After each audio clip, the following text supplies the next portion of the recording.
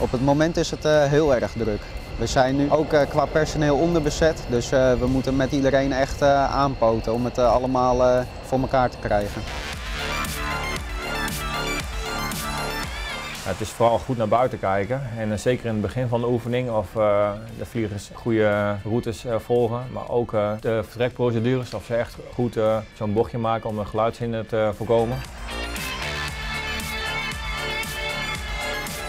De hele aanloop naar, uh, naar de oefening toe, het hele plannen, dat, kost best wel tijd. En uh, de eerste paar dagen dan ga je zien dat er best wel wat kleine brandjes zijn om te blussen.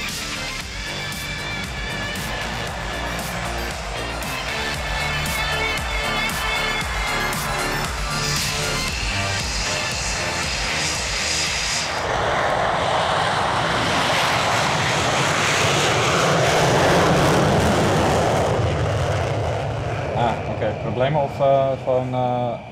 Ik ben de projectofficer van uh, Frisian Flag. Dus ik organiseer um, de, hele oefening en hoe alle landen zeg maar, naar deze kant of naar Leeuwarden deployen. En dus uiteindelijk hier terechtkomen en kunnen vliegen.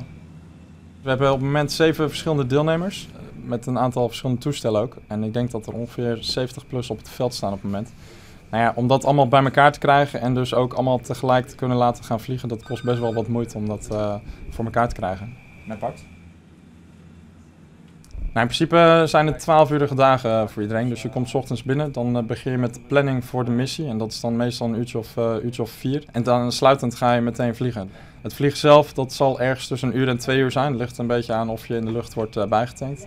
En dan daarna heb je nog een debrief van een, een, uur of twee.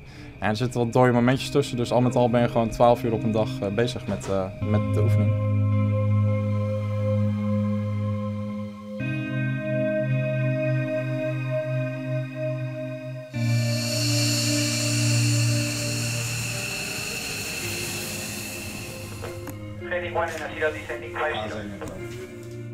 King 31 Roger, taxi straight ahead and take the second right. First exit is blocked.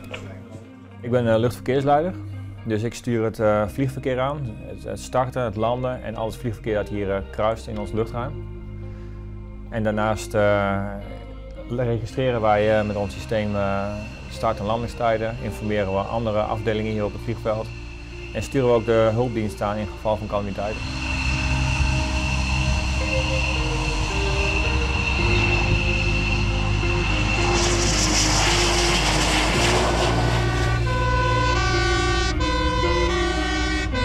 Het is behoorlijk meer vliegverkeer dan we gemiddeld hebben op een uh, standaard dag. Frisian Flag betekent echt veel meer uh, vliegverkeer. Maar door de jaren heen zijn de procedures zo op elkaar afgestemd dat het eigenlijk een hele geoliede machine is geworden en dat het eigenlijk heel soepel doorloopt, ook al is het heel veel. Sommige buitenlanders kun je prima verstaan en bij anderen moet je echt wel heel goed luisteren wat ze zeggen. Alles hangt nu, bijna 50 vliegtuigen. Ja, prima.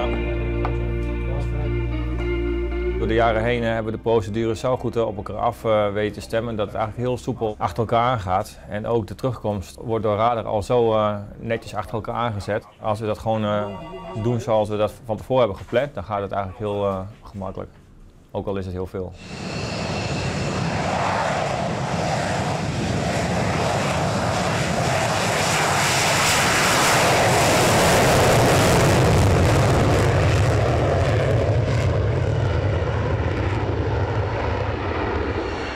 Ik uh, ben crewchief op de F-16 en dat houdt in dat ik uh, de laatste eindverantwoordelijke ben van het vliegtuig voordat hij de lucht ingaat. Het is niet meer het jongste toestel. Is het lastig om dat dan draaiende te houden? Uh, dat heeft zo nu en dan wel zijn momenten, dat is zeker waar. Dus waar lopen jullie nou het meeste tegenaan in zo'n periode?